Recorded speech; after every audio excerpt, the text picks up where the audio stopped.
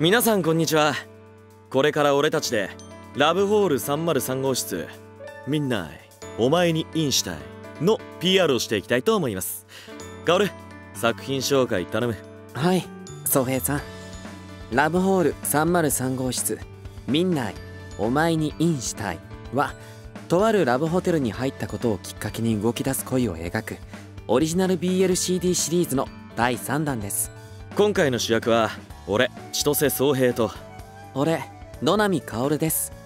薫は俺と同じ会社の映像クリエイター。ひょうひょうとしてるから気づかないやつが多いんだがかなり仕事ができて俺や周りから期待されてる社員だ。持ち上げどうも。宗平さんはうちの敏腕ディレクターです。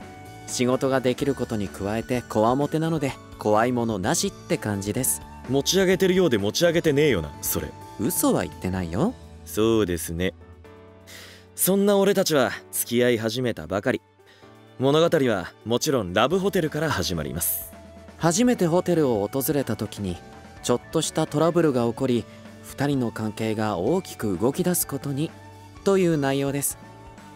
宗平さんトラブルの説明しとく？